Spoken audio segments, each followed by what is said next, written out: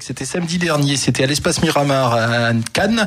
Christophe Miosek, c'est un artiste que j'ai véritablement adoré euh, en 1995 quand est sorti son premier album Boire. C'est, je trouvais qu'il apportait vraiment quelque chose dans la chanson française, cette nouvelle vague. À côté de lui, il y avait euh, Dominica ou encore euh, Christophe. J'ai l'album Boire, j'en ai toujours pas fait le tour. Je trouve que c'est quasiment aussi bon que du que du Gainsbourg ou du Brel, c'est dire. Malheureusement, derrière cet album, il n'a pas trop su se renouveler. Il a toujours tourné un peu autour des mêmes thèmes, euh, c'est-à-dire de, de l'amour impossible ou encore de l'alcool. Mais, mais cela dit, ça fonctionnait quand même bien.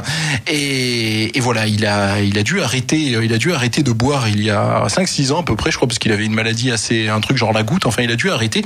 Donc maintenant, aujourd'hui, il est, il est très, très, il est sevré, il est très calme. Et, et donc là, il, pour le coup, il a, pour le coup, il s'est un peu renouvelé. Il était dans une formule semi-acoustique euh, sur scène. Il était avec un, un violon, un accordéon et une guitare. Et voilà, une formule assez inattendue. Ils étaient tous les quatre assis. Christophe Miosek ne s'est pas levé de tout le concert, ni aucun des musiciens d'ailleurs. Euh, ils ont joué un album à venir qui sortira au mois de mai, un album où les thèmes sont un peu renouvelés parce que pour une fois, ils parlent pas de désillusion amoureuse. Ils le parlent, c'est de la poésie au sens général. Donc, euh, donc c'était bien parce qu'ils se renouvellent et parce que c'était euh, une surprise chez Christophe Miosek. Mais effectivement, peut-être un peu à la manière de, de Karen Rose. Euh, c'était, c'était peut-être un peu trop calme, mais c'est vrai que dans un concert, on attend, on attend un moment qu'il y ait la batterie et que ça démarre, et en tout cas que, que le chanteur se lève un temps soit peu, ne serait-ce que sur les rappels.